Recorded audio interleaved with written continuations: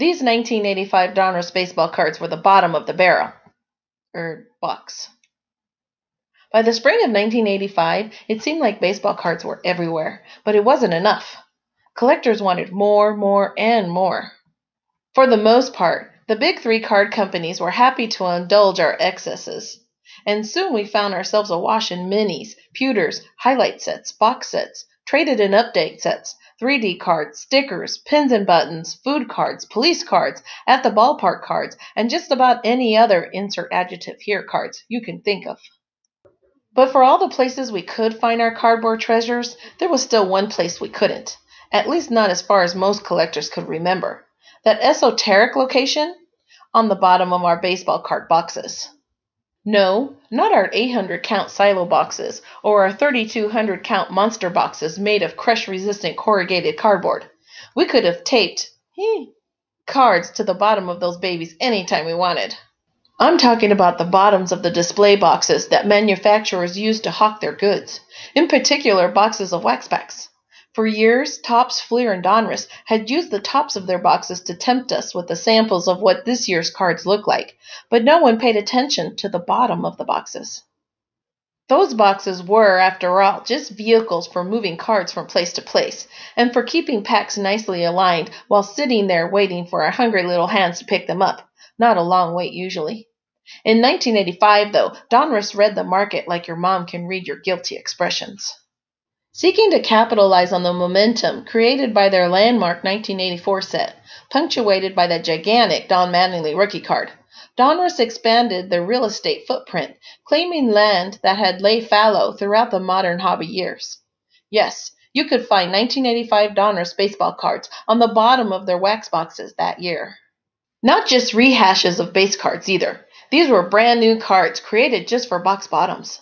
There were four cards in all, each of them included on every wax box of 1985 Donruss cards. Here is the complete checklist. Dwight Gooden, number PC1. Ryne Sandberg, number PC2. Ron Kittle, number PC3. Lou Gehrig, puzzle, unnumbered. The goal here, of course, was to encourage collectors to purchase a full box to ensure that they'd get box bottom premiums. It was pretty powerful candy, too. I can remember my card dealer friend Beulah selling a box of 1985 Donruss to me, and my dad mostly, by pointing to the box bottoms and saying, and of course you get four good guys. Sold! After all, how else could I get those limited edition cards? They were going to be worth a fortune. Looking back, there was some flaws in my logic. Consider. Dwight Gooden was indeed a good guy, but that turned out to be fairly short lived.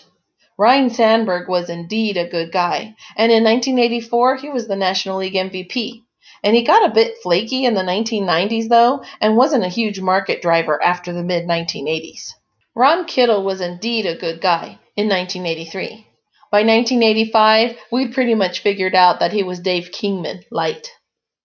Lou Gehrig may have been the ultimate good guy, but his box bottom cards were a weird miniature version of the Perez-Steele Hall of Fame Diamond King puzzle you could put together by buying enough packs. The cards weren't really scarce. While you weren't guaranteed to get a copy of any particular single card from the base Donruss set, even if you bought a whole wax box, you were guaranteed to get one of each of the box bottom cards.